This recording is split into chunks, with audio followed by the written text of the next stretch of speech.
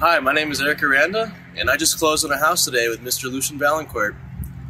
I actually found uh, Mr. Valancourt's YouTube channel right before I graduated college, and uh, once I found that he had a passion for educating homeowners and uh, prospective homebuyers, I, I knew he was a guy I wanted to work with. Plus, not to mention me being active duty and knowing that Mr. Valancourt's retired uh, retired warrant, I knew that we'd make a hell of a team. I'm so proud. I'm so happy to be uh, working with Lucian over the past year, and I highly, highly recommend you go through him.